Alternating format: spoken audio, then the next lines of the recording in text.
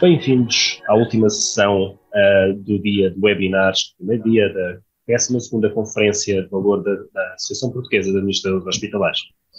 Uh, esta última sessão uh, é dedicada ao tema recrutamento de talento. como captaremos os profissionais do futuro? Eu tenho a honra de ter comigo a doutora Ana Castro Dias, que é Senior Manager na Michael Page, uma das mais cotadas empresas de recrutamento, que é formada em Economia, formação avançada e pós-graduada em Liderança uh, e em Gestão de Talento, uh, e pessoas com experiência de mais de 10 anos na área de recrutamento de talento. Para além da doutora Ana Castro Dias, tenho também comigo o doutor Pedro Rocha e Silva, que é CEO da Neves de Almeida, é HR Consulting, portanto, outra também das mais cotadas empresas de recrutamento a trabalhar em Portugal, Uh, e Pedro é formado em Gestão e Administração de Empresas, uh, tem também formação avançada em Alta Direção de Empresas e uma experiência de quase 30 anos na área da gestão de pessoas. Quero dar as boas-vindas a ambos, quero agradecer-vos por terem aceito o desafio de falar connosco sobre como recrutar talento, como é que poderemos captar os profissionais do futuro, e também o que é que são os profissionais do futuro, também esse é um grande desafio. Uh, eu vou além de agradecer a vossa presença, uh, vou já começar por lançar aqui um pequeno desafio, que é, uh, nós estamos neste momento no paradigma do talento. Portanto, são as nossas pessoas, mas o talento é um conceito que cada vez mais ouvimos falar, mas que às vezes, se calhar, não, é, não está suficientemente explícito. Mas eu queria começar por perguntar-vos, era qual é que é o vosso talento? para depois a seguir vos perguntar qual então o conceito de talento que vocês têm quando estão a tentar captá-lo. Queremos começar uh, pela doutora Ana. Obrigada, Leandro. Olha, pergunta difícil, não é? Qual é que é o meu talento? Um, mas honestamente, eu diria que é uh, uma soft skill que eu acho que falta bastante nos dias de hoje, que é a empatia. Ou seja, eu honestamente acredito que a empatia uh, resolve muitos temas, não é? Desde o da gestão de equipa, ou se quisermos pensar na atração de talento, a perceber realmente o que é que a pessoa que está do outro lado quer. Um, a empatia, uh, lá está, com, com a nossa sociedade, com nos negócios, com as pessoas no geral, não é? Como é que o atraímos, quais são, enfim, uh, uh, as dores dos dias de hoje, mas sem dúvida que se não houver empatia e compreensão um, por, por aquilo que nos rodeia, o nosso trabalho fica ainda mais complicado. Portanto, eu diria sem dúvida que um dos meus talentos, não quero acreditar que tenho só um, é, é, é, a empatia. Então, é, Pedro, qual é o seu talento? Diga-nos lá. Oh, oh, Leandro, mais do que falar do, do, do, meu talento, se calhar vou falar daquilo que é o, o talento que uma organização como, como a minha uh, pretende uh, que seja para as organizações. Eu não gosto muito da expressão talento, apesar de passar a vida a utilizá-la. Uh, somos quase obrigados a isso. Serve para, serve para tudo e mais alguma coisa mas eu gosto de pensar que o talento tem a ver com a capacidade de aportar valor às organizações.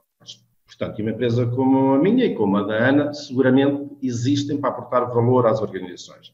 E, em primeiro lugar, as pessoas também existem, enquanto profissionais, para aportar valor às organizações. Portanto, eu gosto de usar, olhar para a expressão de talento como a capacidade de, e, e eu uso muito mais a expressão gestão de talento, que também serve para muita coisa, atrair talento é uma coisa, desenvolver talento é uma coisa, reter talento é outra coisa, portanto, gerir talento acaba por ser isso tudo e visa, no fundo, exatamente isso, que é gerir pessoas de forma que as mesmas consigam aportar valor às organizações para onde trabalham. Não gosto da expressão de talento como se fossem os iluminados, ou os experts, ou os quadros estratégicos, ou seja. Em última instância, todos, todos aportam ou podem aportar valor às organizações, em diferentes, uh, em diferentes níveis. Um, obviamente, podemos ir também pelas competências que, que são críticas e aquilo que, que, acho que eu ou a minha organização, o que é que nos diferencia. Mas, começando a conversa por aqui, de facto, eu acho que acaba por ser uma definição uh, interessante. Há, há, milhares de definições sobre o que é que é talento, mas, de facto, aquilo que tem a ver com o, o aportar valor às organizações permite, de facto, encaixar depois tudo o resto. Olhando um pouco para isso, eu estava eh, a dizer que o meu desafio aqui era, quando eu perguntei o vosso talento, eh, eu esperava que vocês me dissessem um pouco isto, mas também que me dissessem assim, assim, o meu talento pode ser tudo, pode ser nada, dependendo do contexto e dependendo daquilo que eu estou a fazer. E, portanto, quando, quando lancei este reto, é, é, também um bocadinho isto que eu queria, que eu queria perceber convosco. Vocês, quando têm de recrutar, vocês têm um papel fundamental que, que nós em Portugal, em, pelo menos no setor da saúde, queremos ter, acabar de ter pouco, ou, ou quase nada, uh, que é, é, precisamente tentar encontrar essas pessoas que acrescentam valor, que aportam valor, uh, para aquela determinada entidade, para eventualmente um período que aquela entidade precisa, porque isto pode estar acordado que é um período, portanto não é para sempre. E nós temos uma cultura de, de manutenção e de, de, tendência para os empregos para a vida. Uh, e, já, já não é bem assim. É, era por aí. Então, uh, o que eu gostava de saber é como é que vocês, neste momento, conseguem trabalhar isto, recrutar estas pessoas, conseguir depois fazer uma gestão de talento uh, que tenham neste momento um mindset diferente, que uh, também tem de estar alinhado com o das organizações, que também acho que têm um mindset diferente e que se calhar já não querem as pessoas também para, para a vida. Um, como é que vocês fazem este trabalho? Como é que, como é que o desenvolvem? Como é que conseguem captar? E isto agora de, de forma genérica, depois me chatear um pouco ali mais para, para a saúde, acho que, que, como devem calcular, é, é, onde nós precisamos de aprender muito. Agora invertimos, começamos pelo Pedro. Não, vamos lá ver. Um, como, é, como é que fazemos em termos de captar? É de facto um equilíbrio. Estamos numa fase de facto de gerar aqui, conseguirmos chegar a esse equilíbrio e eu diria que ainda estamos relativamente longe. Ou seja, estamos numa fase em que vivemos uma realidade em que do lado das pessoas, do lado dos profissionais, existe já de forma bem vincada uma nova forma de olhar para as suas carreiras, e um pouco como o Leandro falou, cada vez mais as pessoas olham para as suas carreiras como um somatório de experiências que as façam crescer, que as façam desenvolver, que as façam sentir motivadas. De facto, já, já não existe eh, de forma tão expressiva como existia há uns anos atrás olhar para o emprego como emprego para a vida estamos já muito longe disso, as empresas ainda se estão a habituar a, a, a, lidar com essa realidade, porque é uma realidade que lhes traz desafios uh, imensos.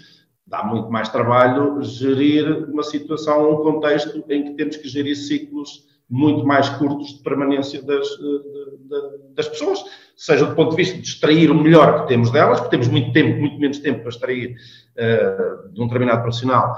Uh, aquilo que ele tem para dar, se ele tiver dois, três anos, do que se esperarmos 10, 15, 20 anos, mas também do lado depois da necessidade de ir, de ir, buscar para garantir toda esta substituição e renovação de, de, de talento. Mas eu diria que, vamos lá ver, esse equilíbrio de facto é um equilíbrio ainda muito instável, existe muita expectativa ainda das empresas, a empresa tem que saber viver com esta nova realidade, eu diria que, não sei, a Ana terá também a sua opinião, mas eu não, não vim aqui para, para, dar notícias, mas diria que isto não tende a mudar, tende, tende para agravar ainda mais. Ou seja, e as empresas terão que se habituar a viver com esta nova realidade, sob pena de se verem ultrapassadas por uma dinâmica que vai ser cada vez maior de uma crescente mobilidade. Dá muito mais trabalho? Dá, obviamente dá muito mais trabalho e obriga as empresas a investir recursos, a criar equipas que se foquem exatamente em, em, em gerir estes temas da atração e da retenção que antes, se calhar, não eram tão, tão críticos. Agora, eu costumo dizer, ainda bem que estamos perante estes desafios, porque há 10, 15, 20 anos atrás, os desafios da gestão de pessoas, não gosto da expressão de gestão de recursos humanos, ah, em muitas organizações não passavam de garantir que o processamento de salários que estava tudo ok, que o tema de relações laborais e de componente administrativa que a coisa funcionava bem, e uma outra componente processual, fazer uma avaliação de desempenho, garantir uma formação.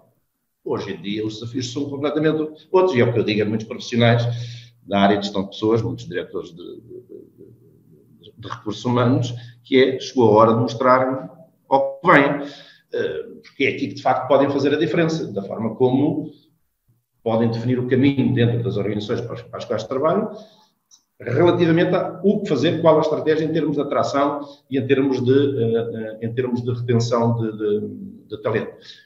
Em termos de processos, Leandro, como é que nós atraímos? Nós somos aqui um facilitador, e a Ana também, as empresas é que têm que ser capazes de atrair e criar uma imagem, uma percepção no mercado que pode ser interessante e trabalhar para lá. Nós ajudamos também um pouco a isso e ajudamos as empresas a encontrar o melhor talento. Ou seja, Felizmente, eh, a maior parte dos recrutamentos neste país ainda não se fazem com recurso a serviços profissionais, fazem-se com recurso ao networking informal, que funciona em muitos casos, noutros não funcionará, tem uma limitação, que é, uh, ficamos limitados a encontrar os melhores dentro daquilo que é a rede de contactos de 3, 4, 5 pessoas enquanto recorremos a serviços profissionais, podemos ter a ousadia de ir efetivamente procurar o que de melhor existe no mercado e que seja mais adequado àqueles que são os, os desafios das, das, organizações. E essa adequação para aquilo que são os desafios das organizações é algo bastante amplo. Ou seja, se, se um hospital, uh, um grupo de saúde precisar de um, de um diretor financeiro, a coisa não se fica só por aí. Ninguém chega ao pé de uma empresa como a nossa, ou da ANA, Olha, precisa de um diretor financeiro e nós vamos procurar. Ah, existe muito por trás disso, desde competências técnicas, competências, uh, competências pessoais, perfil profissional, que tipo de desafios é que aquele profissional eventualmente já tem que ter ultrapassado no, no, no passado, se já esteve em fase de, de, de, de criar de raiz unidades, se já esteve em fase em que teve que assegurar processos de, de, de, reestruturação, processos de crescimento, já teve que trabalhar em ambiente internacional, N questões. Se fosse fácil, se fosse só procurar, olha, é um diretor financeiro, ah, é fácil encontrar e seguramente empresas como a da Ana e como a, minha não existiam, porque era tão fácil chegar até eles com, dois com duas ou três chamadas telefónicas, uh, que não havia razão para. Quando as coisas chegam até nós, é porque a coisa não é assim tão fácil. E, portanto, e queremos fazer aqui um exercício de quase pesca à linha, procurar determinado tipo de competências e atributos. E depois existe outra questão, e nós aí é um é um papel também tremendamente relevante, de irmos muito para além daquilo que é a aferição das competências técnicas e das competências pessoais. Tem a ver com o fit daquela pessoa, com aquela cultura daquela organização. O mesmo profissional pode ser um profissional brilhante numa organização e noutra coisa não funcionar e pode não haver problema nenhum com a pessoa nem com a organização, simplesmente a coisa não cola do ponto de vista de fit uh, cultural. E aí é um trabalho que empresas como a nossa deverão fazer, no sentido de conhecer bem a organização para a qual nós estamos a trabalhar e fazer esse exercício de conhecer alguns traços daquilo que é o perfil de, de, dos candidatos, para perceber se, se a coisa joga ou não joga. Mas pronto, não me queria alongar muito mais, eh, já comecei aqui a derivar para outros temas, para não perder aqui o fio, o fio condutor, se calhar passava para, para a Ana. Eu, eu, eu, passo, eu passo Ana, mas eu também acrescentar, porque esta era uma das questões que eu também iria eh, pedir para abordar, porque hum, eu, eu tive há uns tempos uma experiência com, com também uma empresa, recrutamento, mas internacional, mas fez um trabalho aqui em Portugal. Eles comentaram precisamente isso, que estava a partilhar, que era hum, para eles conseguirem enquadrar o CEO de uma empresa uh, que, lhes, que, lhes pediu, que lhes pediu ajuda, um, eles tiveram de, de vir à empresa está verificar como é que era a dinâmica, a cultura organizacional, uh, depois perceber o que é que o, o, dono, portanto, a empresa queria, portanto, os acionistas queriam, porque eles, eles eram, os acionistas é que, não, é que eram os, um dos acionistas, o maioritário era o CEO. E ele queria deixar, porque era familiar, uh, e ele queria deixar e queria passar.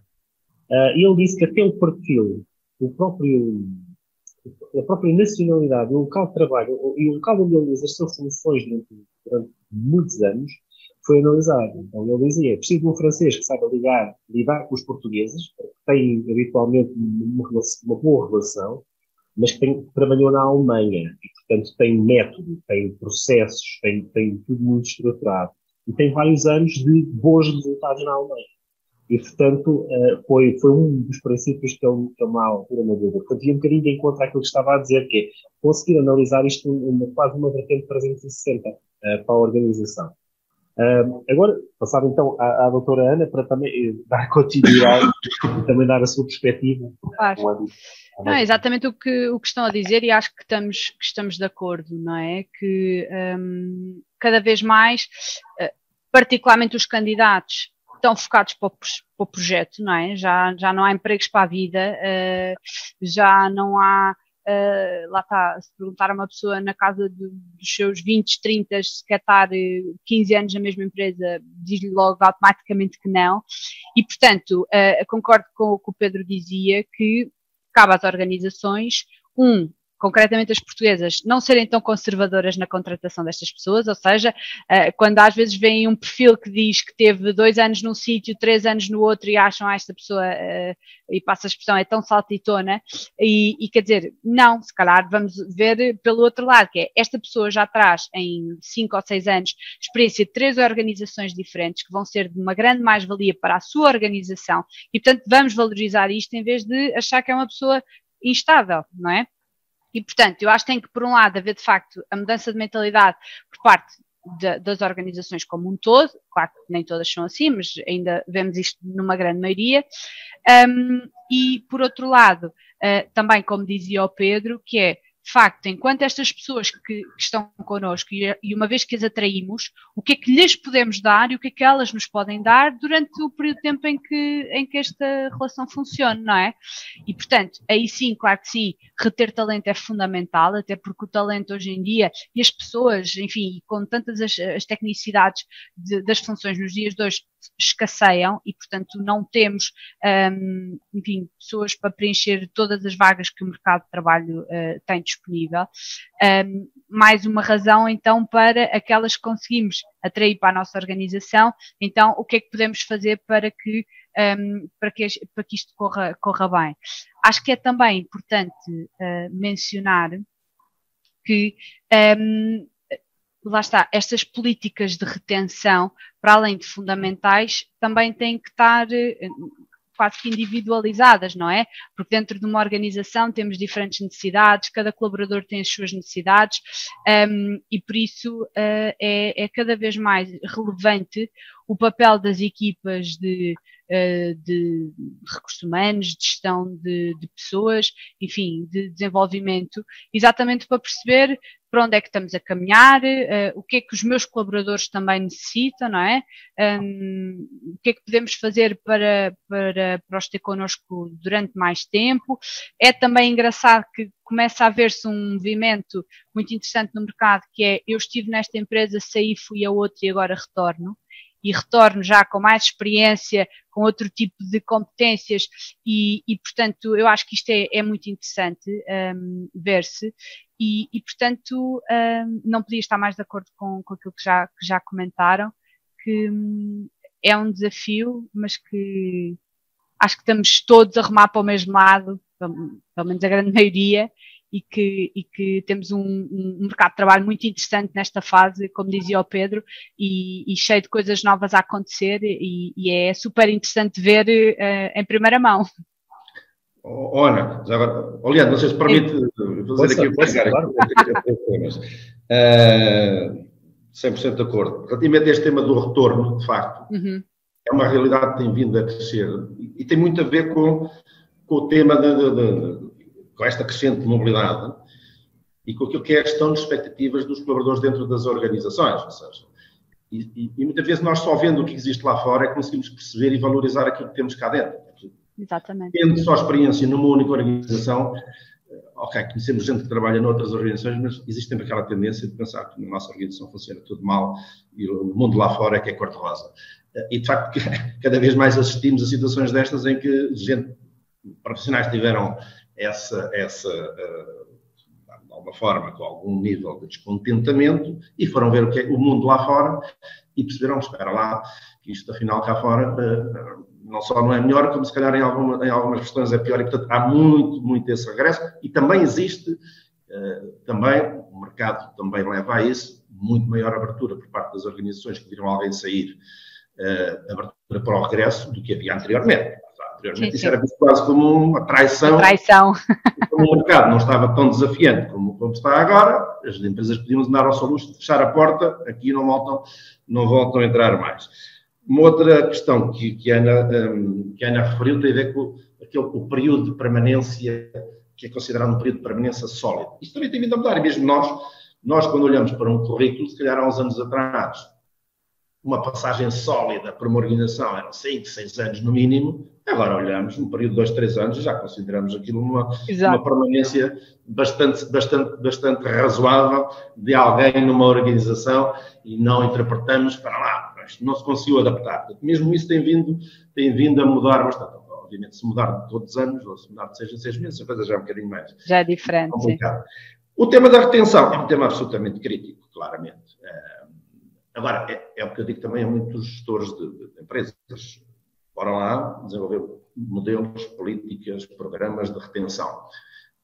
Isso não vai fazer com que a rapaziada separe a, a, a sangria de pessoas e esta rotação. Agora, é o que eu digo também, não fazer nada, pior ainda, não fazer nada, ou seja, não valorizar a importância de, de de investirmos efetivamente na retenção, na motivação, no desenvolvimento das pessoas, em muitos setores, em muitas empresas, pode ser absolutamente dramático. E é hoje em dia tão ou mais relevante do que investir naquilo que as empresas já faziam e fazem há muitos anos, que é investir na gestão, na retenção dos seus clientes. Uh, cada vez mais os colaboradores estão não só ao nível, mas até acima daquilo que é a importância, porque ser colaboradores também não temos clientes. Uh, e, e, portanto, o investir nisso é. Não tem como, não tem como, não, é, é, uma obrigatoriedade, é uma obrigatoriedade de fazer esse investimento, sabendo que não é por aí que vamos parar com, com, com a saída de pessoas. Obviamente, minimizar bastante e colocar aquilo em níveis mais razoáveis de, de, do ponto de vista de, de gestão. Isso, isso, é muito interessante, sabe? Eh, eu, eu normalmente eu utilizo uma expressão com, com algumas pessoas que trabalham comigo, que é um, eu gosto muito de trabalhar com elas, e digo-lhes sempre isto, mas a primeira coisa que eu, que eu me começo a preparar é no dia em que eles entram, eu começo-me a, a, preparar para os perder. Porque uh, eu tenho que pensar que, e, e consistentemente tento lhes dizer que vocês têm potencial, vão crescer e eventualmente vão voar. E se conseguirem, de facto, atingir o vosso potencial, eu vou ter tido o prazer de ter-vos comigo. Uh, e, portanto, uh, este, este é uma etapa. Claro que isto depois é muito difícil, as substituições, esta gestão, esta, esta, esta mudança, mas é um primeiro passo que eu considero fundamental, na minha perspectiva, que eu considero fundamental para que uh, eles também perceberem que eu quero que eles estejam comigo, mas nunca, os vou, nunca lhes vou, nunca os vou impedir de voar. Portanto, quero é trabalhar para os manter e preparar para os perder. Isso isso. E, e, o sentimento acaba por ser um pouco esse. Uh, e, e, é um bocadinho como eu vejo neste momento o mercado. Uh, o mercado de, das pessoas, das, das, pessoas e da gestão das pessoas. Uh, trabalhei durante um tempo nos serviços partilhados do Ministério da Saúde, portanto, tinha a vertente tecnológica, mais, mais tecnológica da saúde. e em média as pessoas não ficavam mais presentes. E normalmente saíam porque eu tinha as condições salariais. Não era porque não gostassem. Quase toda a gente que lá estava e que tinha uma boa dinâmica de trabalho gostava bastante de trabalhar lá. Um, mas quando saía, um, saía porque tinha excelentes propostas. Eram bons profissionais, eram pessoas que, o mercado estava à procura e acabavam por ir, por ir para outra classe, porque efetivamente também tinham outra componente, que é a componente salarial, então não, não lhes permitia chegar, uh, chegar tão longe. Uh, isso é um desafio que, que, que, acabou a criar uma rotação interessante, que era uma rotação, uma, uma cultura de aprendizagem contínua, de inovação, mas inovação também com novas, com novas pessoas. E, e esse eu vejo também como um tal desafio dos projetos. Eles têm um projeto, o projeto é um, dois anos. Eu, inclusive, também só lá estive um ano. Portanto, tenho essa experiência também. Uh, porque depois também voltei precisamente para, para assumir outro, outro, outro papel. Uh, mas a realidade é que eu vejo isto acontecer em, muito, em muitos sectores da sociedade, uh, em muita, muitas áreas.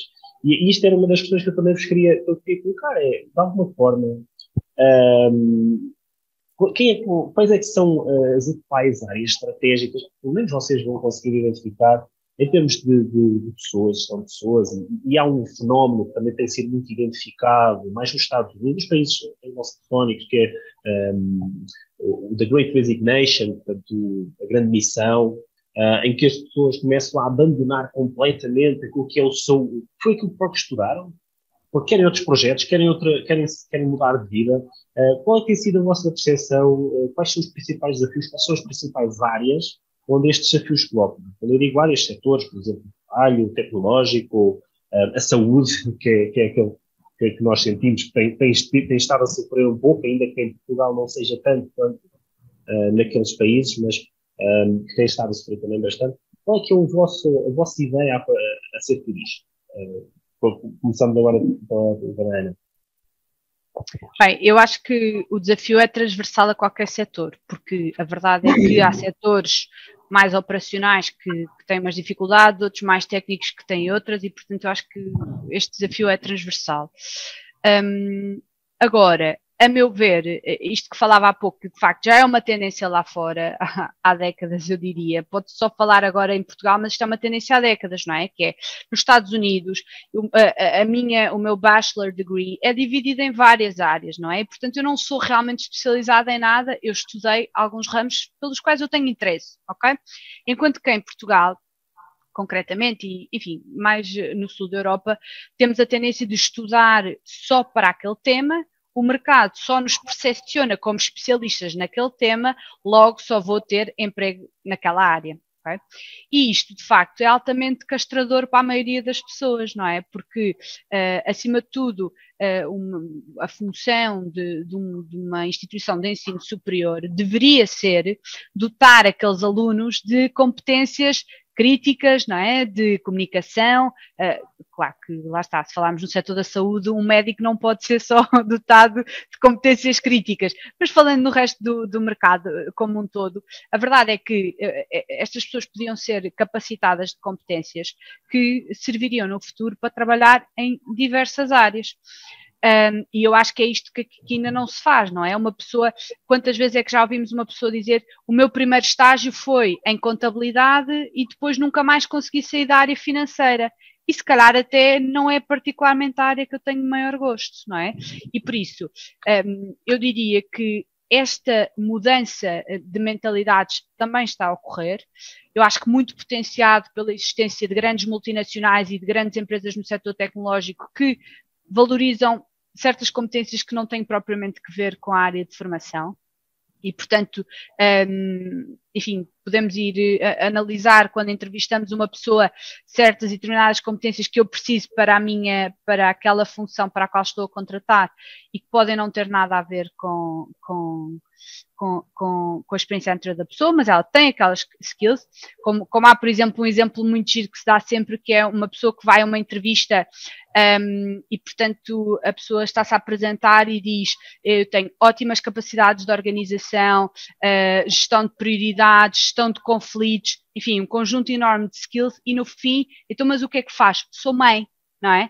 E, portanto, que é uma coisa giríssima, isto fala-se, faz muito nos Estados Unidos, que as pessoas tiram gap years para, de facto, se dedicarem à maternidade e depois, quando retornam, adquirir um conjunto enorme de, soft skills e não só, uh, que são super válidas no ambiente de trabalho, mas que certas, certas áreas não as percepcionam como tal. Pegando um bocadinho naquilo que perguntou do, do setor da saúde, eu diria que, apesar de, de forma generalizada, ser um setor que obviamente precisa de competências técnicas muito específicas, não é? A verdade é que cada vez mais vemos profissionais da área da saúde a integrar funções completamente distintas, não é? que eh, vemos muitos médicos a ir para a indústria farmacêutica, vê enfermeiros a seguir outro tipo de funções, uh, e portanto eu acho que é interessante cada vez mais vermos que há abertura para fazer outras coisas, não é? E trabalhar durante um tempo numa área não quer dizer que eu não consiga desempenhar outra função noutra. É, prosseguindo nesse raciocínio, eu acho que há de facto muito mais abertura por parte dos profissionais para isto, aliás já falámos sobre isso, experimentar coisas novas, fazer coisas diferentes, seja mudar da, da área funcional, se calhar um médico terá mais dificuldade de bem deixar de ser médico, não vai passar a ser advogado nem engenheiro seguramente, mas nomeadamente naquilo que são as estruturas de gestão, deixar de estar só focado na área financeira, de estar só focado na área comercial, experimentar áreas ali um bocadinho ao lado, ou mudar de setor, estou no setor automóvel, queria ir para outro setor, para, para a indústria, estou na saúde, queria ir para a farmacêutica, estou na farmacêutica, queria ir para bens de consumo, há cada vez maior, nós sentimos isso, nomeadamente quando falamos com job seekers, essa vontade de lá está o cansaço, muitas vezes, de, as pessoas quererem desafios novos, acho que até é algo humano. Uma vez mais, sinto que o mercado também. A Ana, não sei qual é a experiência que tem, mas eu sinto muitas vezes que nas conversas de briefing que temos com os clientes, muitas vezes ouvimos uh, dizerem-nos: Ah, Pedro, pá, mas fantástico, até seria muito interessante alguém que viesse de outro setor, com, trouxesse aqui uma alfada de ar fresco. Boa, vamos procurar, ok, e apresentamos uma shortlist, que apresentamos sempre algo, a maioria são, cumprem os requisitos todos, são do setor, e apresentamos sempre um ou dois, que é uh, ali aquela carta fora do baralho, e que a partir tem, para não ter a experiência do setor, se calhar até ganha noutras características. Mas, ó Leandro, no final do dia, no final do dia, quando é, quando chega a hora da escolha, continua a haver, de facto, algum conservadorismo. É sempre aquela expressão de, já agora, já conhece, se calhar é mais fácil a adaptação e não é tão, não, não é tão óbvio, ou seja, há muita vontade uh, ao início, verbalizada, mas depois na hora da decisão continuamos aqui a ver algum conservadorismo. Um, do lado dos candidatos, temos também aqui alguns fenómenos na forma como olham para essas mudanças.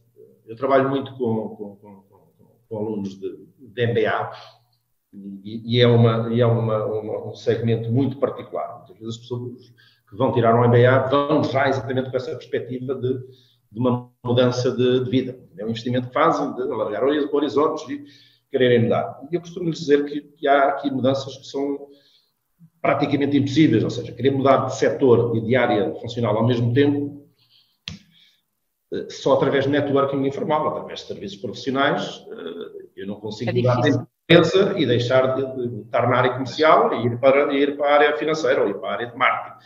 Não consigo.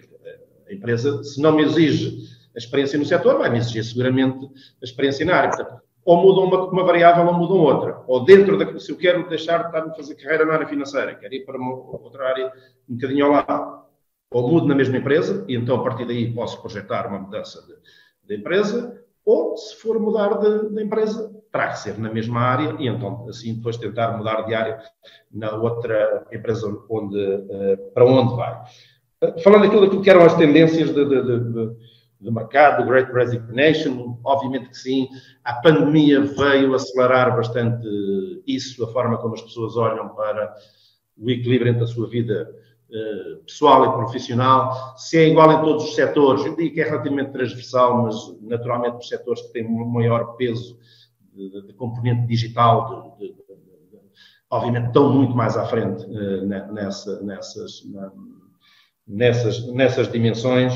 Uh, é onde a globalização também é maior, onde a mobilidade é maior. Há aqui um conceito, que é um conceito que veio para ficar e vai se reforçar cada vez mais, que é a flexibilidade, que é cada vez menos, mas lá está, em setores mais tecnológicos e mais digitais, cada vez menos interessar o onde, o quando e no futuro cada vez mais o para quem.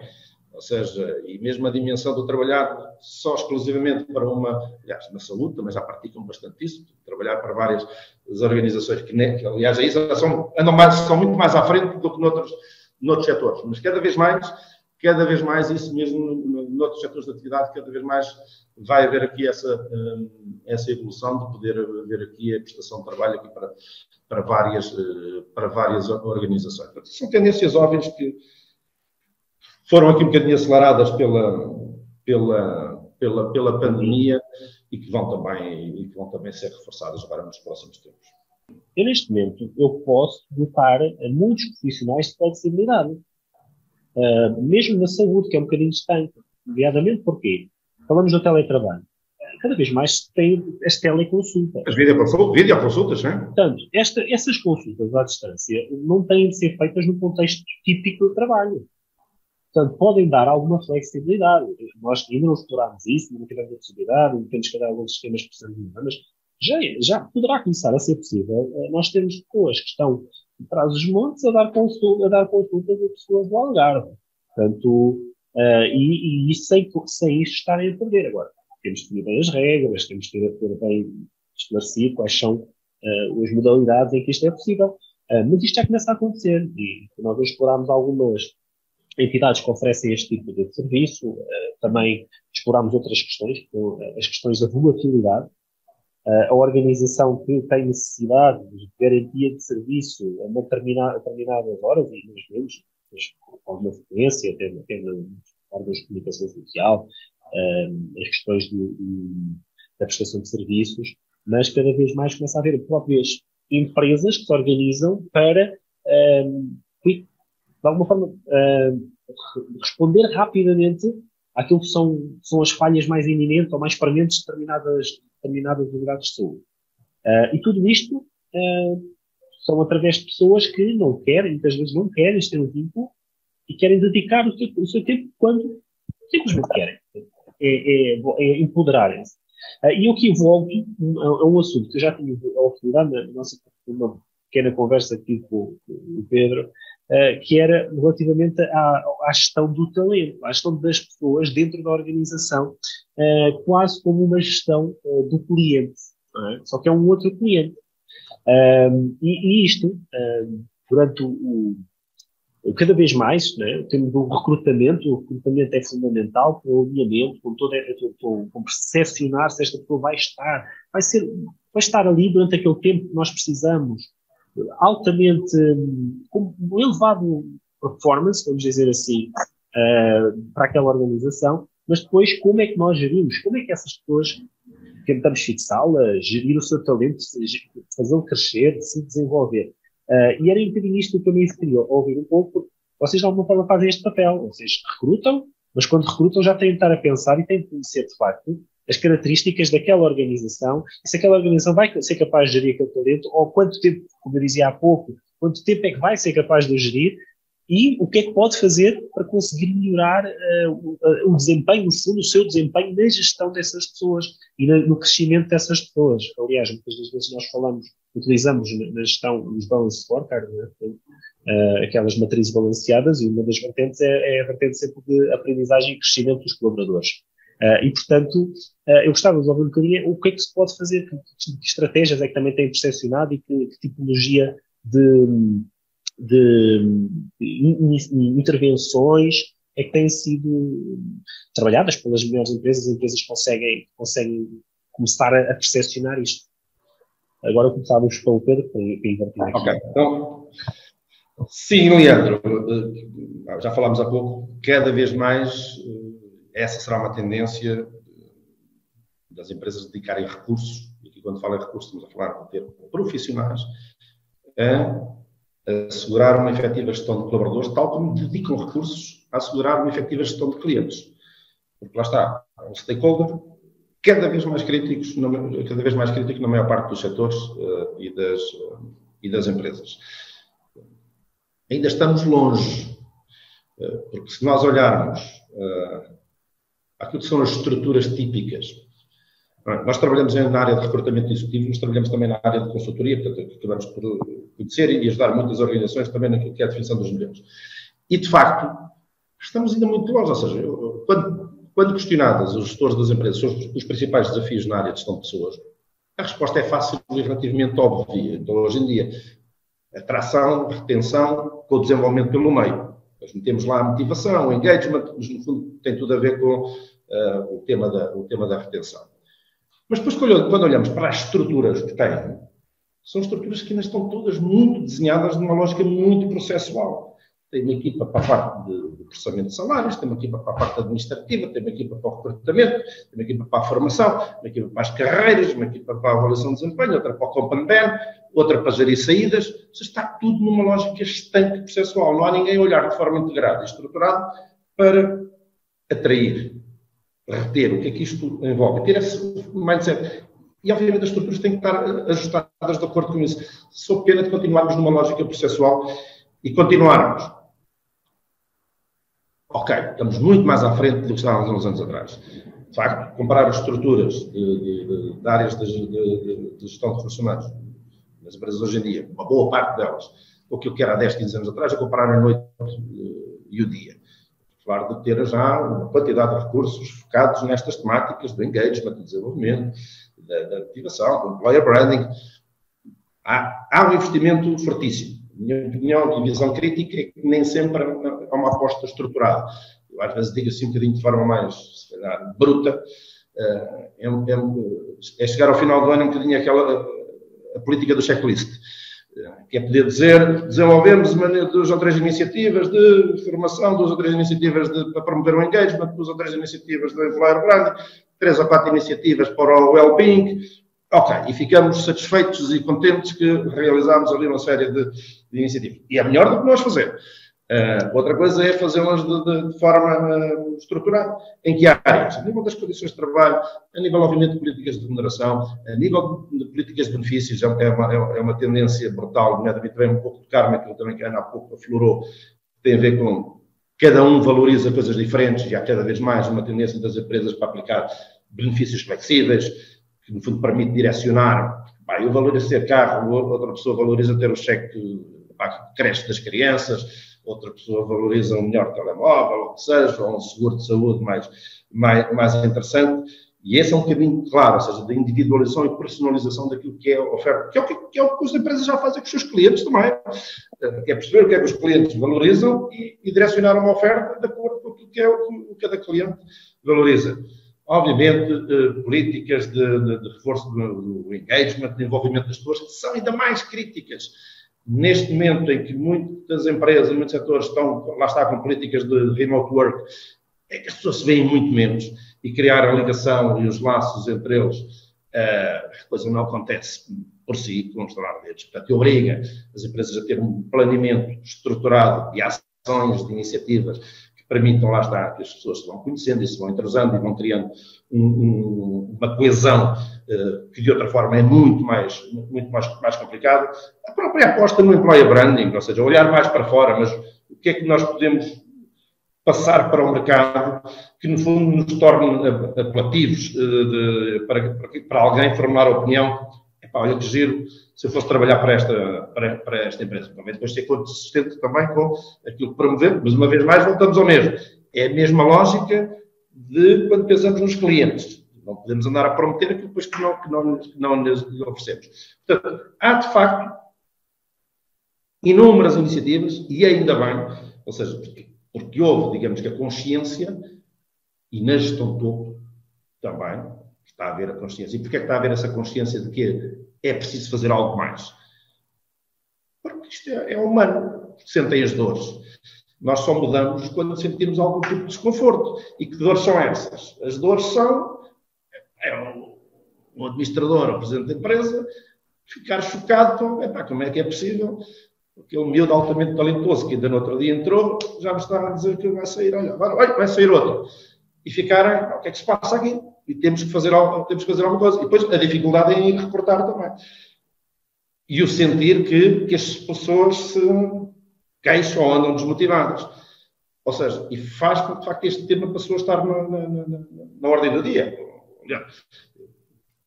Já nisto há alguns anos, lembro-me bem, de, lembro bem de, de, alturas em que os administradores quase que, quase que se escondiam do diretor de recursos humanos. O diretor de recursos humanos só vinha com chatices para, para, para tratar, porque era difícil recursos humanos conseguir ali cinco tempos de agenda. Agora não se para trás deles porque a apertar, entre aspas, para o diretor de semanas, porque é preciso gente, porque é preciso ter as pessoas motivadas, porque é preciso conseguirmos uh, reter. Portanto, o paradigma, o paradigma mudou, mudou uh, radicalmente. Mas uma vez mais vou dizer, e ainda bem, porque é, são esses os desafios verdadeiramente interessantes para quem trabalha nesta área da, da gestão de pessoas. E as organizações, finalmente, e uma boa parte da gestão de topo, percebeu que aquela expressão que, que eu já ouço dizer há 20, 30 anos, que as pessoas é que são o nosso ativo mais importante, mas agora estão a perceber que, espera lá, que isto é mesmo verdade. Um, e, portanto, está a haver, de facto, essa aposta. Acho que ainda temos um caminho grande para fazer do ponto de vista de, de o fazer de forma mais estruturada, mas caminho faz-se faz caminhando. É, é, precisamente, é preciso começar, não é? Portanto, é. e começa-se a ter essa percepção, começa-se a ter a noção de que, do, do, do profissional da pessoa. Mas, é? um, e, e, nós sentimos muito isso no, no, no, Serviço Nacional de Saúde e, e algumas limitações.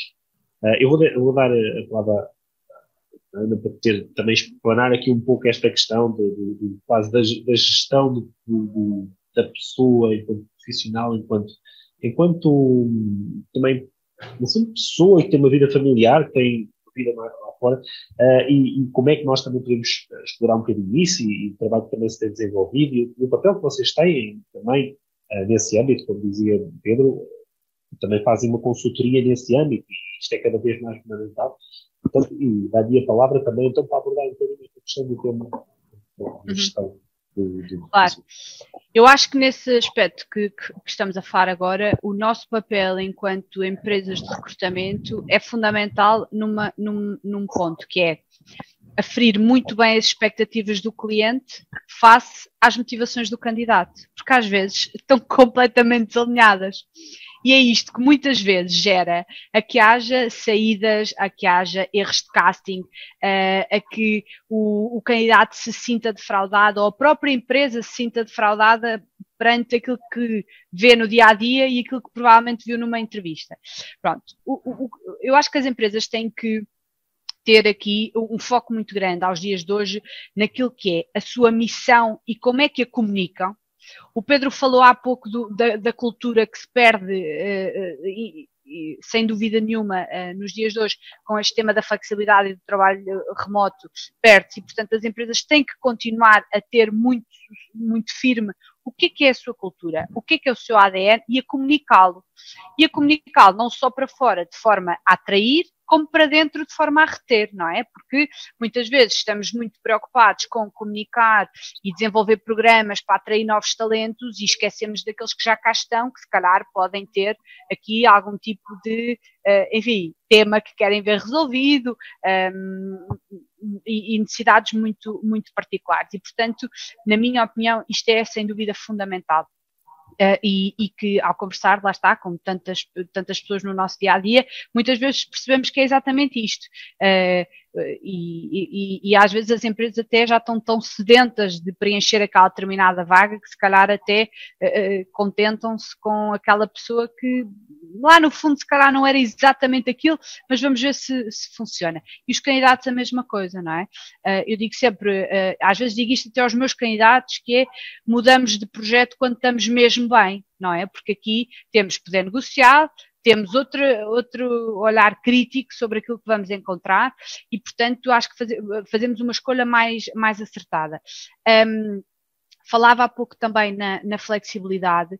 Eu acho que o tema da flexibilidade, um, sem dúvida que é uma tendência, está nas bocas do mundo, não há departamento de recursos humanos que não fale disto, jornal para aí fora, mas por mais que esta frase que eu vou dizer agora possa ser polémica, acho que honestamente não é para todas as pessoas. E porquê?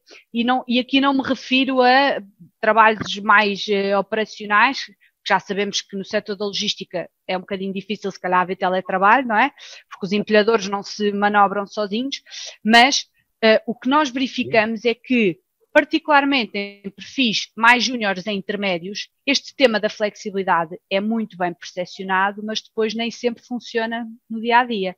Porquê? Porque são pessoas que ainda estão a construir o seu caráter profissional, precisam de guidance uh, e, portanto, uh, aqui mais uma vez um grande desafio para as empresas de não ter estas pessoas, obviamente, quando é possível, obrigá-las quase que a estar permanentemente nos escritórios, mas como é que as vamos treinar num sistema, se calhar, híbrido, para lhes continuar a dar aquilo que é a nossa cultura, os nossos, não é, o nosso training, o nosso ensinamento, uh, e ao mesmo tempo responsabilizá-los porque uh, uh, flexibilidade é sinónimo de muita responsabilidade, de muita capacidade de trabalho de forma autónoma, de capacidade de gestão de prioridades e de conflitos que muitas vezes nós no início da nossa carreira não temos.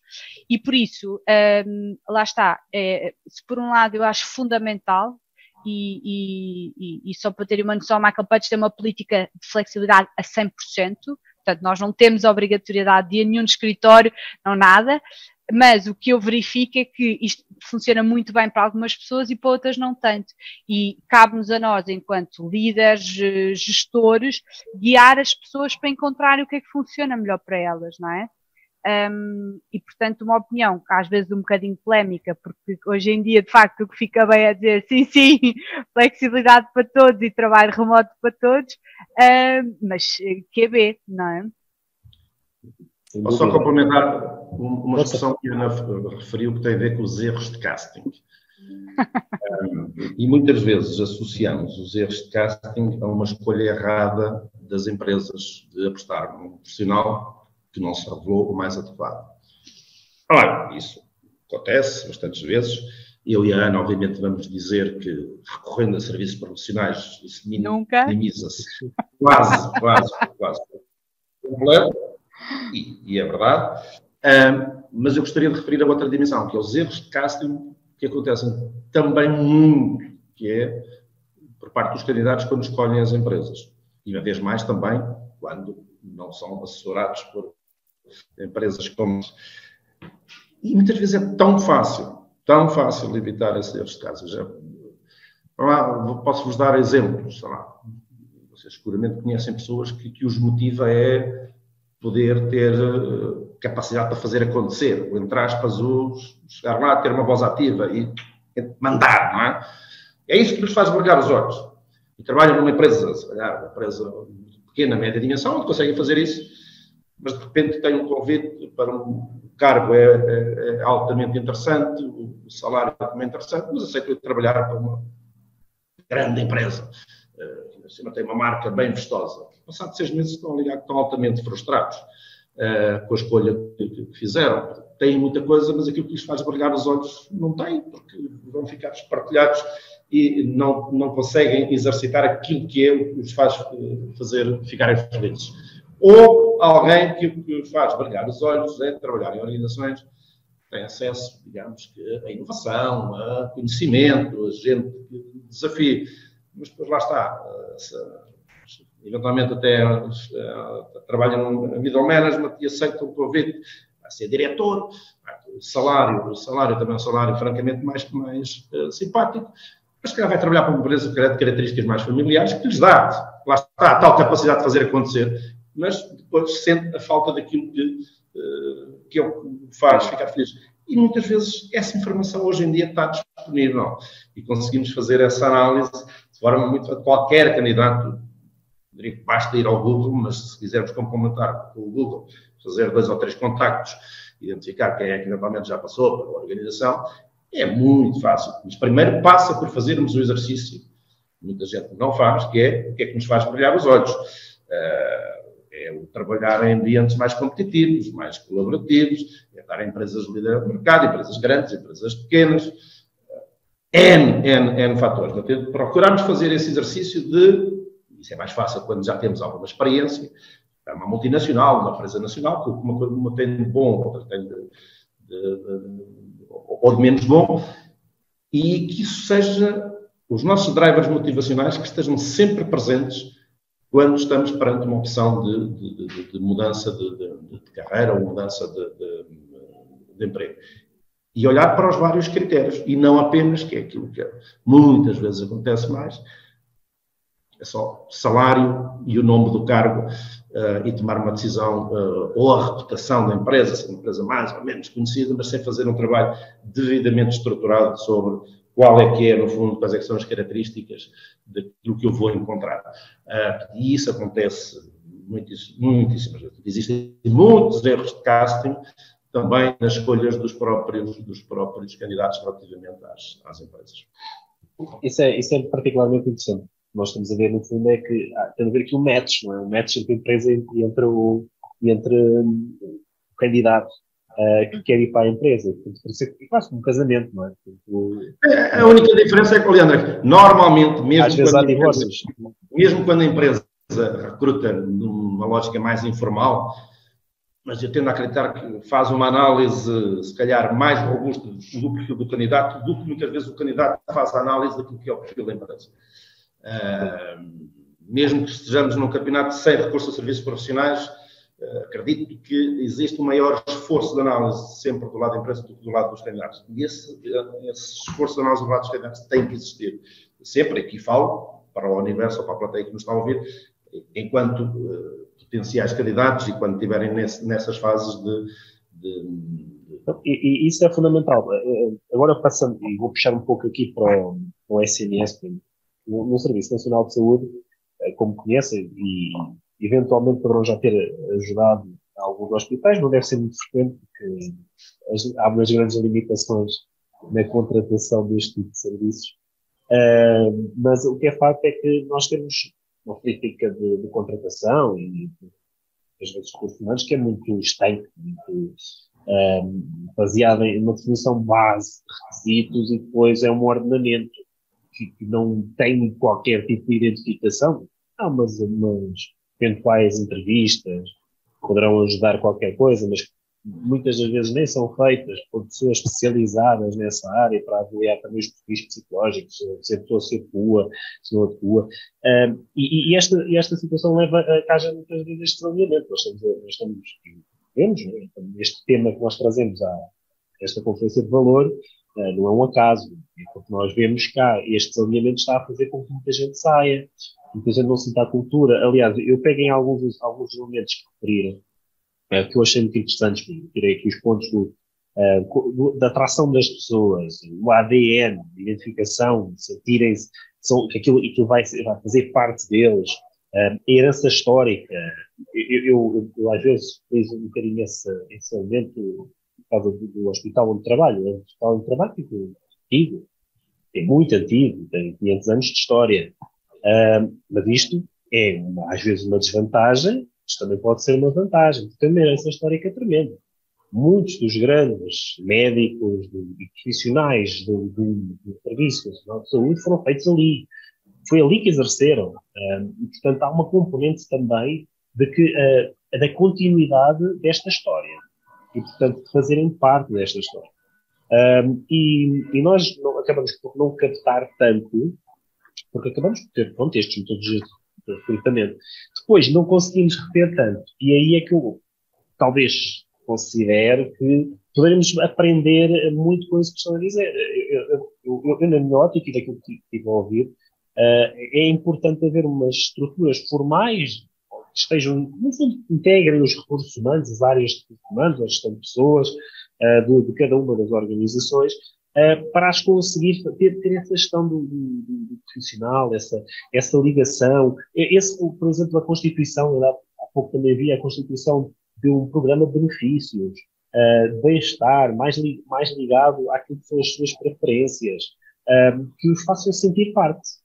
Uh, e sentir parte também depois tem outra componente, que era a. Uh, e nós também temos, a, a, dá, tenho muita sensação, e depois também gostava de desenvolver sobre isso, a vossa perspectiva sobre o setor da saúde em concreto e em particular no, no Serviço Nacional de Saúde, que é, uh, nós estamos aparentemente a perder um pouco a capacidade de comunicar o que se faz bem.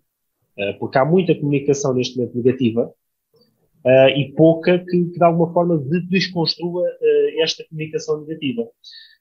E, eu, eu, tenho defendido um pouco também o apoio em, em alguma, algumas agências, algumas consultorias de apoio um, à, à, criação, de marca, marketização da marca, não só a SMS, mas da marca, um, da marca hospital ou, unidade, unidade de saúde, estamos a falar, no sentido da população ter confiança. E a geração de confiança na população também gera, à partida, vai ter uma consequência positiva, que é os profissionais vão se sentir parte de algo que funciona, que é bem comunicado. Se nós valorizarmos também aquilo que eles fazem, e, e todos os dias, todos os dias nós temos profissionais que publicaram em, em fizeram uma investigação científica notável, foi publicada nas melhores revistas do mundo. Uh, temos profissionais que fizeram técnicas que são inovadoras, que nunca ninguém fez cá em Portugal, um, e nós não comunicamos. Há uma outra, uma outra organização que comunica bem, mas nós não comunicamos e depois queremos atraí-los. Um, queremos que, que tenha, ter esses profissionais connosco e mantê-los. Uh, eu vejo isto como um grande desafio, mas gostava de ouvir da vossa parte. Uh, no fundo, é uh, o, que é que, o que é que consideram que nós, calhar eu já disse algumas, mas que nós, no Serviço Nacional de Saúde, poderíamos fazer mais. Mesmo sabendo temos esta limitação, a questão salarial, que, que, é, que, é, que está administrativamente definida, uh, temos esta questão de não conseguirmos, às vezes, um, contratar direta, uh, contratar aquela pessoa, a pessoa certa, ou que, para, para a organização, que tem esse match, mas de alguma forma, eu, eu gostava de perceber é, para além disto, existem outras coisas. e que já foram, foram sendo abordadas. O que é que vocês consideram? O que é que nós poderíamos também fazer a esse nível para conseguir, conseguir que este talento queira estar connosco? Poliana, se me permite, ah, eu não sei se era a minha vez, se era a do Pedro era, era. de começar.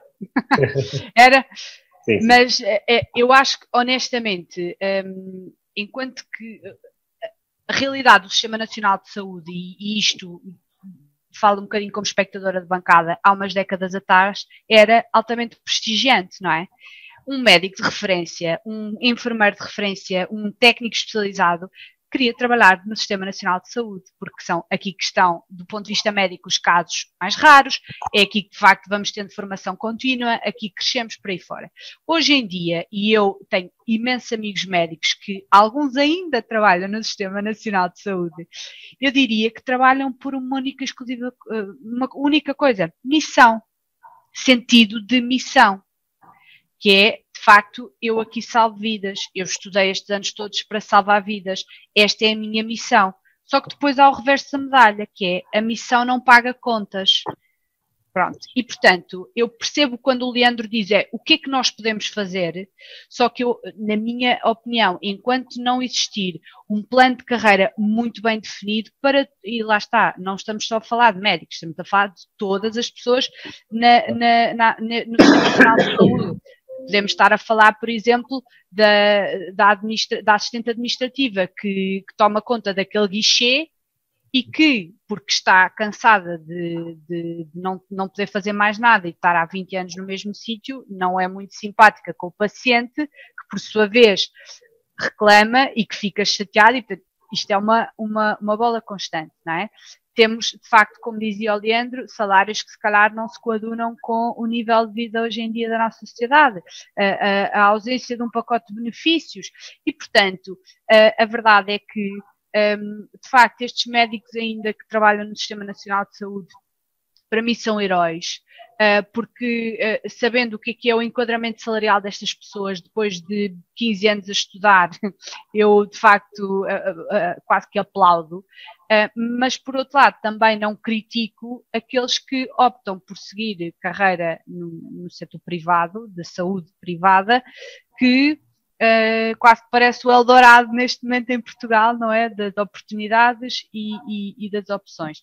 E por isso, uh, a minha resposta para si uh, é que há imensas coisas para fazer, é verdade, mas acima de tudo, uh, concordo quando diz que se podiam comunicar as coisas muito boas que são feitas, porque continuam a ser feitas coisas muito boas, não é? O Sistema Nacional de Saúde não são só desgraças. Qualquer um de nós tiver um problema de saúde grave, prefere recorrer ao Sistema Nacional de Saúde do que de facto ir para o, para o, para o público para o privado, peço desculpa. E, portanto, uh, eu, acho que podíamos começar, talvez, por, lá está, uh, trabalhar em, em, duas frentes uh, diferentes, que é, por um lado, esta comunicação e employer branding, é? tornar atrativo o nosso, este, esta empresa, este Sistema Nacional de Saúde, para todo o tipo de funções, não só para profissionais de saúde, mas, por exemplo, para gestores, não é? Se as gestores estão bons no, bons no privado, porque é que estes gestores não vêm também, uh, não é? Dinamizar aqui algumas áreas de, do, do setor público. Um, e lá está, para todas as pessoas que trabalham na área administrativa, nas áreas mais operacionais, e por isso, de um lado, employer branding, sem dúvida, do outro, então, uma revisão muito profunda, que sabemos que isto somos nós a falar, porque envolve temas estruturais e quase que sistémicos um, desta, desta realidade, um, daquilo que são, de facto, remunerações, planos de carreira, um, benefícios associados, um, mais abundância de, de, de, profissionais da área, de forma a que não estejam tão sobrecarregados, e por isso diria que uh, estas seriam assim as grandes duas frentes uh, a trabalhar, de forma a serem mais atrativos, claro, para, para os profissionais dessa área. Pedro. Oh, oh, lá, oh, oh, Leandro, aqui a resposta é muito simples. Eu, há pouco falei da política da checklist, acho que até podíamos começar por aí e enviar um índice de, de vários temas que até de forma pouco estruturada já, já poderia ser interessante. Isto, e retirando aqui a componente de, de, de, salários, mas acho que de facto há muito, muito, muito, muito para fazer. Lá está, recrutamento, a forma como fazemos recrutamento, a formação que damos, para, conseguimos proporcionar às pessoas. E seguramente há coisas aqui que é possível fazer, ou seja, uma questão de, de foco, de vontade de, e, e percebemos que, de facto, é o único caminho para, para garantir a sustentabilidade do, do, do modelo. Benefícios, as condições de trabalho, do ambiente de trabalho, que é, é uma coisa diferente, uma natureza mais soft. O tema do engagement, o tema do employer branding, uh, N, uh, N, para não irmos a temas de responsabilidade social e, e outras. Coisas que possam fazer com que as pessoas se sintam melhor na organização.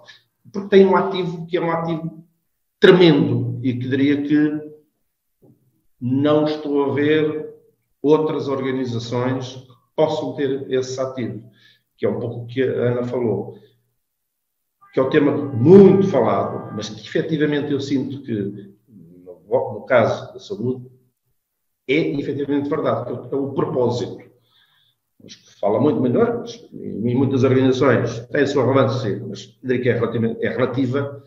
No, no, no vosso caso, é de facto um ativo muitíssimo relevante. Até porque conjuga neste propósito o setor da atividade, ou seja, a saúde, salvar vidas, no caso do SNS, com aquilo que é causa pública. Ou seja, traz aqui um plus versus o trabalhar no hospital privado.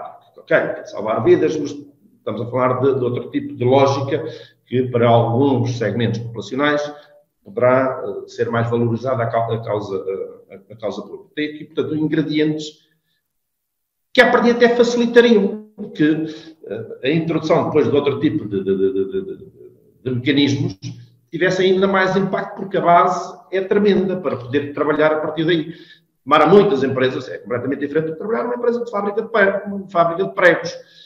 Pode ser muito interessante, há uns que gostam mais, outros gostam menos, mas nunca terá a mesma capacidade de, de mobilização dos seus colaboradores neste propósito de, de, de orgulho e de, e de sentimento de, missão e de, e de pertença. Portanto, a base é tremenda. Aliás, eu diria que se não fosse essa base, o que é as lacunas que existem do ponto de vista de gestão, pois seria muito mais uh, penalizante. Nós, de facto, trabalhamos muito pouco. Uh, a minha visão crítica não é do SNS, é do setor público, igualmente. Okay?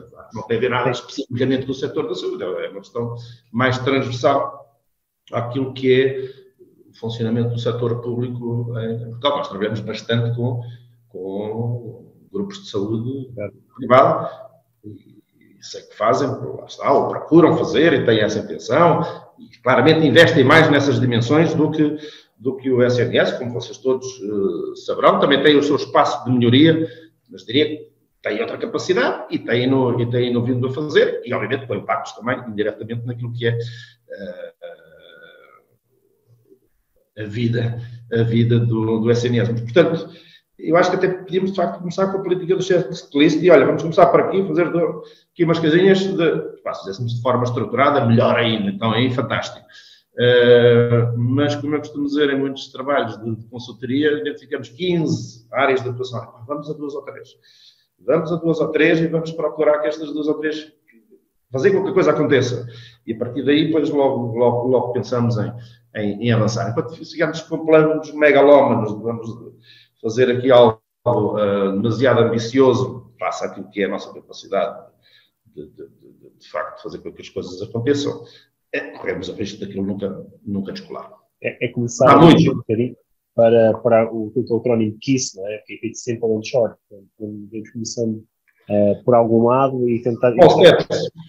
Eu, eu, eu, eu ia só pegar aqui uma última coisa da minha parte e depois tenho aqui algumas questões colocadas pelo, pelo, pelo público para, para também uh, vos desafiar.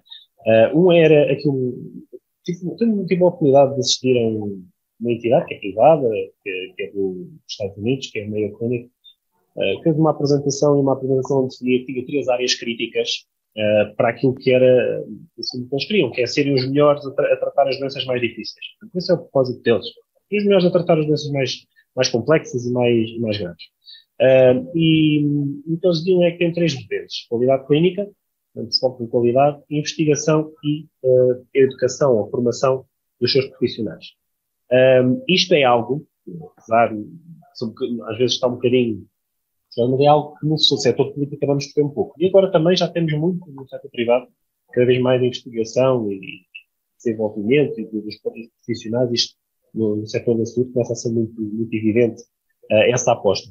Uh, mas, de facto, nós temos muito importante, um SNS, que é casuística, é termos muitos casos para, para as pessoas poderem desenvolver esta sua atividade e poderem ser reconhecidos por serem inovadores, por terem capacidade de investigação, uh, por, estar, por serem melhores a fazer, a fazer a, a, sua atividade e serem os melhores entre os melhores.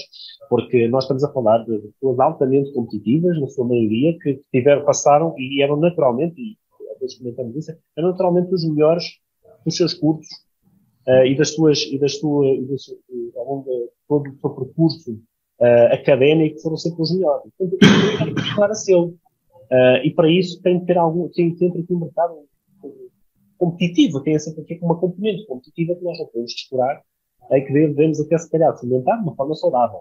De uma forma saudável, dando-nos condições para poder continuar a evoluir.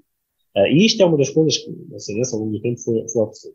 Uh, e, e, que de alguma forma está alinhado com este propósito. Uh, calhar precisamos de um, de um, realinhamento e de uma, uma, excelente comunicação disto e as condições, como é óbvio, condições para as pessoas uh, se sentirem bem, suficientemente bem remuneradas para poderem ter uma boa vida, uma boa articulação entre a vida total e profissional. Um, e também, um, eu diria, para não terem de trabalhar mais horas do que aquelas que são necessárias, que é um dos grandes problemas que nós acabamos também por ter.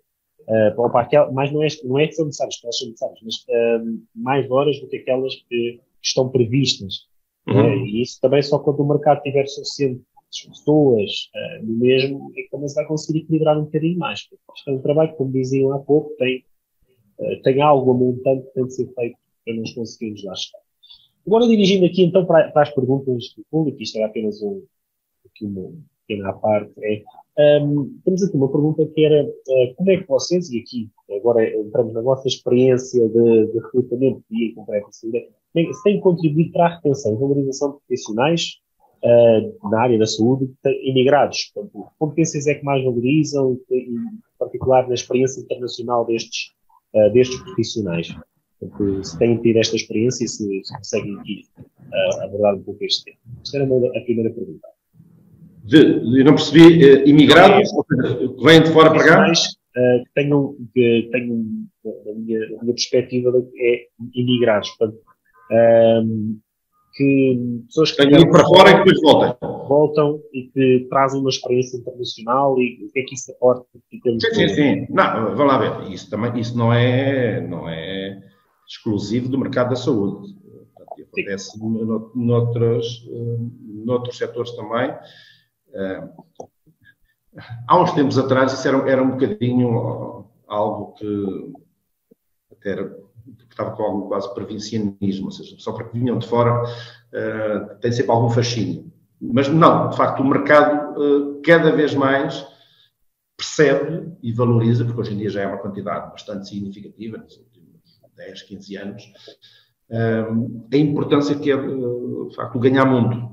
E, e, e vir com outro tipo de, de, de, referências e experiências, trazer esse valor para dentro, para dentro das, das nossas organizações. E porque o facto de ter tido uma experiência internacional não coloca só um rótulo ou um carimbo no CV, ok, é, vai de fora é, é fantástico. Não é só isso. É o que está por trás, ou seja, é a valorização do que é que está por trás da decisão daquela pessoa de ter ido para fora. E o que é que isso representou? Porque só o tomar a decisão de ir para fora é revelador de alguns atributos que são francamente interessantes e valorizados pelas empresas, desde sair da zona de conforto, o tema de capacidade de, de adaptação, do gosto por, por, por, por desafios. Depois, obviamente, se tiver corrido bem, se tiver ido para fora e voltou a passar três meses, se calhar o tema da adaptação não correu assim tão, não correu assim tão, tão bem. E depois o que traz em termos de questões até de, de, de, de, lidar com diferentes tipos de pessoas, de, diferentes tipos de culturas, traz obviamente uma bagagem muito mais relevante. Mas muito, o que está por trás da decisão de tomar esse tipo de decisões é algo que um recrutador valoriza e um empregador valoriza logo uh, diretamente, ou seja, uh, os atributos que estão associados a tal. Portanto, sim, claramente é algo que, à partida, gera logo algum interesse barra fascínio no, no, no, no mercado. Olha, quer acrescentar alguma coisa relativamente a este tema? Não, olha, por acaso, há pouco tempo tive um caso interessante que foi exatamente uma pessoa que em Portugal era enfermeira durante os anos, eh, enfim, que já lá vão de, de, de uma crise uh, muito complicada, não só no nosso país como na Europa, foi uma pessoa que foi, decidiu de facto emigrar e desenvolver a sua carreira uh, lá fora. E foi interessante que esse mercado de trabalho que estava mais maturo, mais maduro, foi dando competências a esta pessoa para chegar a um cargo de gestão. Um, e, e, e, há pouquíssimo tempo, por motivos pessoais, a pessoa queria regressar a Portugal e um, antes de vir, obviamente, começou a sondar o mercado, a perceber onde é que se podia uh, enquadrar e a verdade é que arranjou um desafio muito interessante, uh, não exatamente a fazer o que fazia, mas uh, lá está, também na área da saúde, que já era a sua área de formação, depois com competências de liderança adquiridas um, e, e, pronto, e, e, é um desafio que segue, que segue de facto a correr bem e muito interessante. E portanto, uh, concordo plenamente com o que o Pedro dizia de que um, uh, o mercado uh, obviamente percepciona bem na maioria dos casos, esta ida para fora, não é? Uh, estas competências que se ganham que se ganham lá fora e também a, a coragem de, de ir uh, um bocadinho rumo ao desconhecido e depois, e depois voltar. Portanto, um, acho que lá está, não tendo se calar um papel muito ativo uh, no apoio à, à, retorno, ao retorno destes, destes candidatos, mas ainda assim, sem dúvida, que há, que há histórias de sucesso. Obrigado. Eu tenho aqui mais algumas questões, portanto, elas estão extremamente participadas, portanto, o, que é ótimo, uh, e uma delas tem a ver com a avaliação de desempenho. Uh, aqui, mas é a avaliação de desempenho no SMS, que eu, que eu, eu não tenho certeza que tenho completo conhecimento sobre uma coisa que se chama CIADAP, uh, que é o Sistema Integrado de Avaliação de Desempenho da Administração Pública, um, e que é um sistema que é relativamente distante e que permite, permite-me fazer algumas, alguma definição de alguns objetivos, de algumas metas, mas que um, depois acaba por ter, ter uma rotina de, de cotas, de limitação de cotas, da evolução das pessoas. todas as pessoas forem excelentes, não são excelentes, serão levanto ou no limite serão adequadas. Portanto, há aqui algumas questões que se colocam, assim como se para se forem inadequadas também é, é muito complicado justificar-se e é a forma como é que está. Portanto, aqui era uh, se acreditam, a pergunta é se acreditam que um sistema deste género, uh, e eu já posso ter colocado aqui algum viés, mas uh, vai contribuir para, para fixar colaboradores ou para os motivar a se autodesenvolverem uh, e a desenvolverem eventualmente algum sentido de pertença. Claro que isto depende um bocado dos objetivos que se definem, mas uh, se vocês têm alguma opinião relativamente a isto, se, se já discutiram também este assunto. Portanto, começamos pelo. No meu pelo caso. Ah, desculpa, estou a Força, Ana, força, força.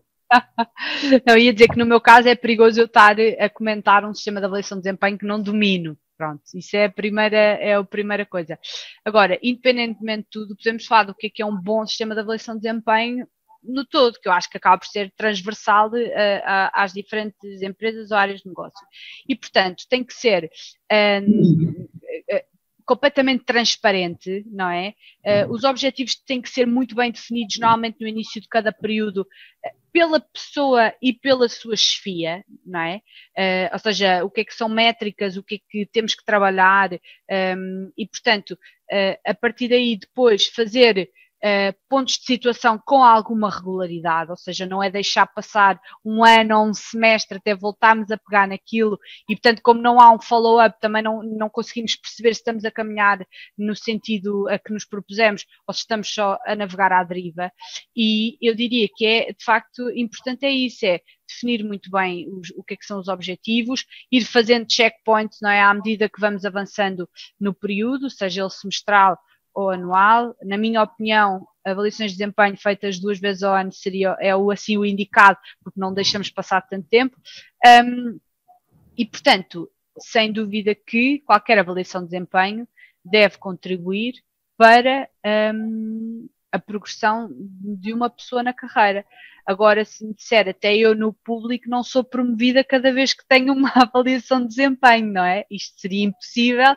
Um, Exato, no privado. E, e, nem não havia carreiras para tantas pessoas e com tanta frequência.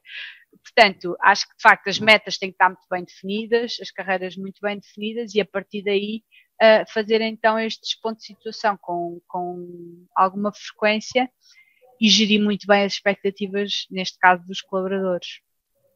Um, olá, bem, aqui tenho uma opinião muito própria. Conheço o CIADAP. Diria que aqui não gosto, não, não acho que seja o modelo adequado, mas no privado também há. É, é daqueles temas que também está muito mal trabalhado. Mesmo em empresas que. E dar aqui três ou quatro nomes de empresas de referência e com modelo de avaliação de desempenho. Também muitas dúvidas. Uh, eu sou muito contra modelos de avaliação de desempenho com classificações. Porque, para mim, uma avaliação de desempenho serve fundamentalmente para mudar comportamentos. Ou seja, para mim, avaliar desempenho é poder dar feedback às pessoas sobre o que é que vai bem, o que é que vai menos bem na forma como executamos as coisas.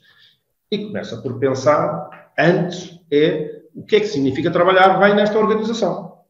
Porque, numa determinada organização, trabalhar bem é, é, ser tecnicamente exímio, é ter resultados, ou seja, noutra pode ser ser altamente colaborativo, ser altamente uh, empático, uh, ter iniciativa. O que é que significa naquela organização? E naquela organização pode haver diferenças, dependendo das áreas, para perceber, fazer esse trabalho. O que é que significa trabalhar bem nesta organização? Essa é a base e que muitas vezes não é feita. Vamos lá estar para o sistema de classificações, ter bem, menos bem, única e exclusivamente para efeitos de, de, de, de, carreiras. Eu acho que pode ser uma peça para temas de carreiras, mas tem, há de haver aqui outras peças, tem, as carreiras têm as suas limitações, mas está como é, é como a Ana diz, no privado vai ter uma avaliação uh, top que, que, suba ou que assume maiores responsabilidades, depende obviamente de todo outra, aspectos da dinâmica organizacional. Depois a avaliação tem que ser com base nisso. O que, é que, que é, que é esperado de mim? Eu não posso ser acusado no final do ano. Ah, oh, Pedro, do ponto de vista de inovação, não vi durante o ano nada de ideias que tenham saído da tua cabeça.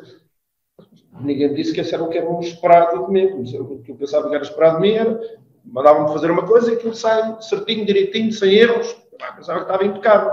Não, se nós esperamos vir nesta organização, toda a gente traga, tenha iniciativa e proatividade para sugerir ideias, porque isto para crescer nós temos de ser inovadores. Ah, fantástico. Então, se é essa a cultura da organização, sim senhor. Então já sei, do próximo ano vão ver como é que é. Vão aparecer aqui com ideias, aqui umas quantas vezes, mas parte disso, que é definir que tipo de comportamentos é que nós queremos que quem trabalha nesta organização, ou nesta área, pode haver diferenças, deve ter. E eu até prefiro, muitas vezes, isto mais às vezes a brincar, eu prefiro muitas vezes uma, uma conversa informal sem preenchimento de formulários do que um preenchimento de um formulário sem acontecer a tal conversa. No final do dia o que nos faz mudar é termos alguém a dizer-nos isto. Ah, Pedro, durante o ano, nem uma ideia, nem uma ideia eu ouvi relativamente aqui à forma como nós fazemos as, as coisas. Agora, se 0 a 10, se aparecer lá um 7 ou 8, isso não me faz mudar nada não faz mudar nada naquilo que é o meu, o meu comportamento. Portanto, tenho uma visão muito crítica sobre os temas de avaliação de desempenho, é uma área em que trabalhamos bastante. Acho que o mercado globalmente trabalha mal este tema, portanto, e aí, setor público e privado, aí já, diria que a coisa já não vejo assim grandes, grandes diferenças, com algumas honrosas, honrosas exceções, mas para mim a avaliação de desempenho é isso. Depois, obviamente, há o tema dos objetivos também, que eu tenho uma opinião que os objetivos devem ser até determinado nível de organização, dependendo do nível de responsabilidade, que não deve-se, porque estar a definir objetivos pessoa a pessoa torna, torna os modelos de tal, uma tal complexidade depois não conseguimos garantir algo que é absolutamente essencial, que é a equidade. Podemos dizer, sim senhor, todas as pessoas têm objetivos, mas depois tenho o meu objetivo, que é uma coisa, hum, porque é difícil fazer isto.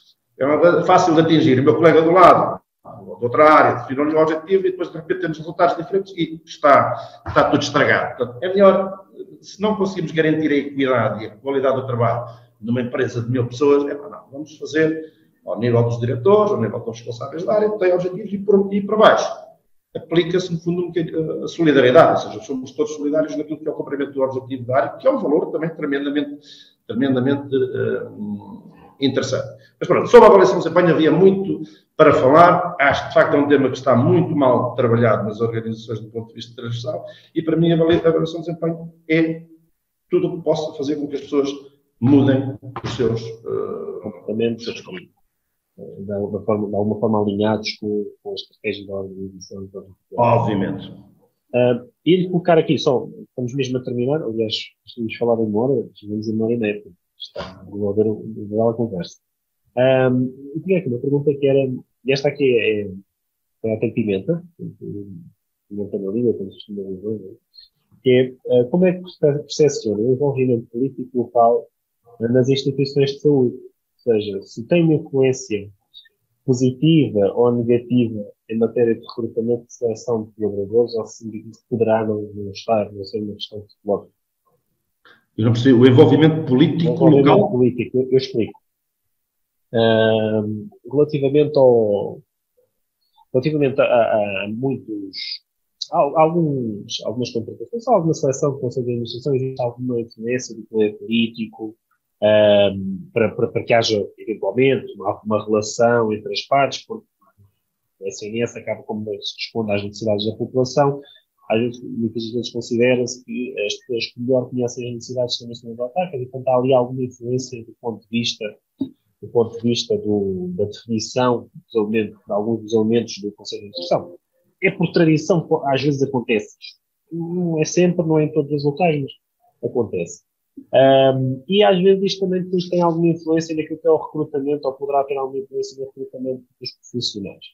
Uh, nomeadamente por proximidade, pertencerem ao, aos, no fundo, aos locais, ou, relativamente próximos uh, da, da, da, das instituições estão. Portanto, havendo, havendo esta, esta leitura, que já que às vezes é abordada, um, se isto aqui, esta proximidade, esta relação, esta criação de ligações, de rede, uh, poderá ser positiva ou não? Por isso é que eu digo, poderá ter um bocadinho da, da língua, mas eu acho que a resposta já... Na, na Associação Portuguesa de Administradores Hospitalares, certo?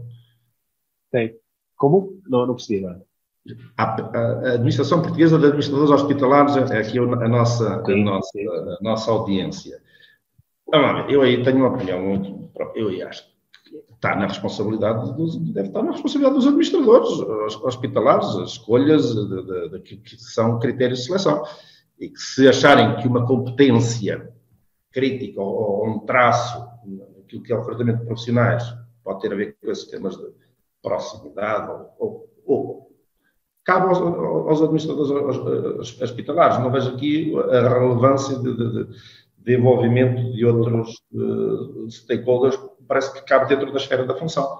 Uh, Ou seja, no fundo, no fundo a, a, gestão deve ser feita por quem tem a competência formal dentro das organizações, portanto, no fundo, o recrutamento com base em requisitos e uma definição clara da, daquilo que são um, administrador mandatado para isso e para outras questões. Ou, ou, sim. É a minha visão. Quer acrescentar alguma coisa? Ou não, concordo, concordo, não concordo com o que o Pedro estava a dizer, que de facto tem que ser uh, o, o, os próprios administradores a decidir o que é que faz, faz, mais sentido dentro daquilo que é a sua capacidade, não é capacidade, mas a autonomia para tomar determinadas decisões, mas concordo com o Leandro que é um tema bastante, bastante polémico e muito complexo para se discutir em apenas um minuto do, do fim. E, e, e é um tema que cada vez mais, e nós na APAD entendemos que deve haver um, um distanciamento. Portanto, isto, isto vai um bocadinho de acordo com aquilo que tem sido a defesa uh, da Associação Portuguesa dos Estados Hospitalares, que deve haver um distanciamento daquilo que é a decisão de gestão e das necessidades de gestão daquilo que é a decisão política. Uh, e, portanto, de alguma forma, a nossa posição é essa, portanto, para nós é relativamente fácil, a ideia, pelo que eu percebi, perceber também um bocadinho, uh, vocês que recrutam e que vê, têm de como é, é que o viram. Uh, depois, uh, tínhamos aqui uma última, mas que, que, é, uh, que vai um bocadinho também de encontro ao que, a, a que e dirigem para o, para para o Pedro, que era quase, como o SNS, dado o SNS ser um ativo tremendo, como referiu, é, é quais as estratégias para recrutar o talento do SNS. isto vai um bocadinho também, da, pelo menos daquilo que nós tivemos, fomos conversando, e também daquilo que, que nós vimos, que não ter, investir em carreiras, e isso vocês, vocês abordaram bem, é necessário haver uma carreira, mas de alguma forma uma expectativa uh, que as pessoas possam gerar, e depois trabalhar todas as outras componentes uh, todos os outros componentes, nem que seja a tal checklist uh, que nós tenhamos e a marca e a trabalhar, e a trabalhada no tal sentido de missão, de pertença, de, de, propósito que as pessoas têm. Uh, era esta, esta pergunta, não sei se querem acrescentar mais alguma coisa. Eu, eu relativamente a isso, de facto, é, aliás, tem, um, tem um, um ativo tremendo, eu diria que é um ativo mesmo perante tudo o que vamos percepcionando, acredito que muitos jovens têm seguramente interesse e fascínio em trabalhar no, no SNS, se calhar muitos dizem, pá, é fantástico, mas, uh, e, é esse, e, é esse, mas que temos que, que, que, trabalhar, muito com os temas de comunicação, de valorizar aquilo que, ok, há coisas menos boas, há coisas para resolver, mas temos coisas fantásticas, e muitos seguramente agarrar-se a essas coisas fantásticas, mas como o próprio Leandro disse várias vezes, temos que as comunicar, e se calhar comunicar vai ter várias vezes. Seja, é uma, uma estratégia de employer branding que tem, de facto, ser, um, ser implementada. Agora, acabará por se esvaziar se de facto depois não trabalharmos as outras dimensões eh, e não formos melhorando aquilo que está dentro bem, componente remuneratória, de carreiras, de condições de trabalho, de benefícios. Eh, eu acho que existe seguramente aqui um capital de atração bastante relevante, mas se continuarmos só, ou seja, se ficarmos só pela comunicação pelo passar a ideia do propósito, sim, vamos conseguir continuar a atrair mas, mas, vamos continuar a ter os mesmos problemas de retenção. Depois, ao fim de algum tempo, se não fizermos mais nada nas outras dimensões, continuaremos a ter as dores e, e, e a sangria de, de, de, potencial de saída enorme. Portanto, é um trabalho há de, chegar um dia, há de chegar um dia que a nossa capacidade de atração já não compensa aquilo que são as perdas que temos do ponto de vista da retenção. Portanto, acho que sim, do ponto de vista de uma estratégia de employer brand, valorizar aquilo que, apesar de tudo, temos que é fantástico, tema do propósito, tema dos, dos muitos e magníficos exemplos de, de, de, de trabalho extraordinário que, que, é feito, e de visibilidade, de premiação e de reconhecimento, um, e passar isso para, para, para, o, para, o, para o mercado de, emprego, pá, mas também ir endereçando, ir endereçando aqueles temas mais hard, uh, uns mais hard e outros menos hard, uh, que já percebemos todos que, nos, que penalizam bastante depois a capacidade de retenção. Obrigado, Pedro. Uh, obrigado, Ana. Uh, não sei se querem deixar algumas palavras finais, alguma mensagem. Uh, se não quiserem, deixo. Diria, agradecer imenso o, convite. Espero que tenha sido uma, uma, aqui uma conversa tenha sido útil para quem nos, para quem nos ouviu. Eu gostei bastante de estar aqui à conversa com, convosco e se tiver ficado aqui uma ou outra mensagem, teria que valer a pena. Muito obrigado. Para, para nós foi um enorme gosto. Uh, esse foi muito importante e quero agradecer a ambos, Pedro e a Ana, uh, por terem partilhado aqui aquilo que é a vossa experiência num contexto que uh, às vezes está na saúde, não tanto na saúde pública, que é uma que nós, nós falamos aqui, mas que também é partilharem connosco aquilo que nós podemos trazer. E agora, de alguma forma, também temos que ter alguma criatividade para conseguir trazê-los e adaptá-los sendo que uh, também nos ajudaram a identificar muitos, dos, muitos daqueles são os problemas que uh, necessitam de ser trabalhados, intervencionados e que esperamos também que, de alguma forma, se possa extrair daqui mais um aporte para tentar resolver os problemas, mais alguma informação para que os decisores possam também mudar, alterar comportamentos e, eventualmente, políticas uh, que permitam responder melhor àquilo que são as necessidades dos nossos profissionais, das nossas pessoas, uh, e que depois se vão traduzir também numa melhoria para aquilo que, são, uh, que é a resposta uh, aos nossos clientes. E, portanto, só me resta agradecer mais uma vez um, e dar por terminada esta nossa sessão, que foi uma bela conversa uh, à qual eu agradeço. Obrigado. Obrigado. Obrigada.